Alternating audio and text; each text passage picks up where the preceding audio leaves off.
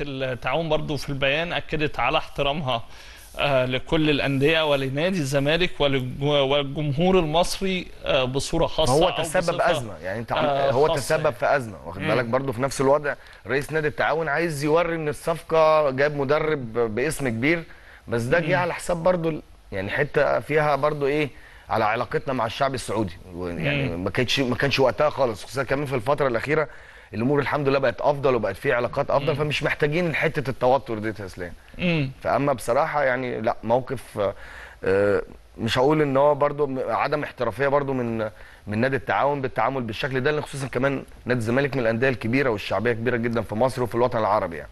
كنت بتمنى إن الأزمة ما تبقاش بالشكل ده بس في الأول والآخر هو الخاسر الوحيد آه، كارتيرون مش آه، مش نادي الزمالك.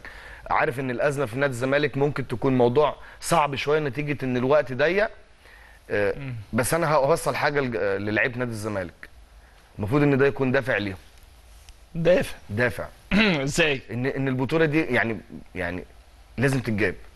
ده بجد حقيقي والله. أنا واحد من الناس لو كنت موجود في في نادي الزمالك ولعيب دي كانت أول حاجة بالنسبة لي رد على حتى على كارتيرون أنت عارف إن لعيبة نادي الزمالك كانت عايزة تطلع بيان وكانت عايزة تعمل فيديو ت- تهاجم فيه كارتيرون لكن إدارة نادي الزمالك رفضت و... دي حاجة كويسة آه و... ده- و- حلو، وط- عجبني الروح دي. آه يعني عجبني و... الروح. وطلبوهم طبعا إن يبقى الرد زي ما يعني بقول. لك كواليس يعني أنا بص أنا بتكلم أنا بتكلم يبقى بالنسبة أصل لهم أنا بتكلم. معاك كلاعب كورة عاش اللحظات دي أو عاشها دي المفروض إن يكون دافع للاعيبة نادي الزمالك والإدارة إن لازم بطولة أفريقيا تيجي لأن الموقف اللي حصل ده موقف عارف اللي هو يعني اللي هو أنا من أنا يعني من غير نادي الزمالك ما فيش بطولة هتخش. بالعكس هو يتثبت. النادي الزمالك أو النادي الأهلي هيفضل اسمه موجود سواء المدرب لأن هو اللي بيصنع اسم المدرب.